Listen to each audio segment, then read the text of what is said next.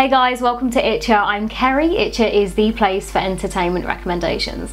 So today's movies that are just as good as Sherlock Holmes are mysteries that keep you guessing, often with a creepy atmosphere. Let's go.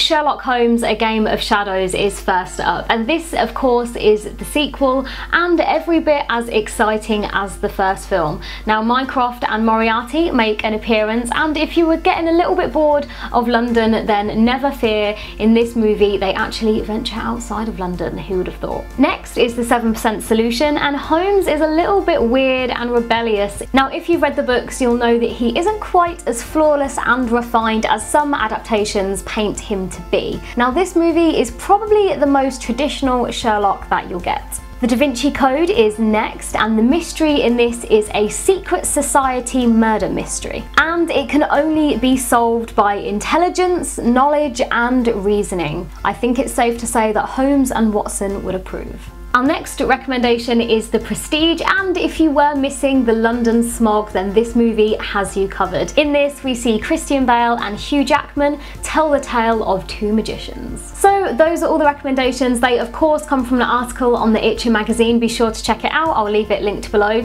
Today in the comments I would like to know what is the weirdest mystery that you've been a part of.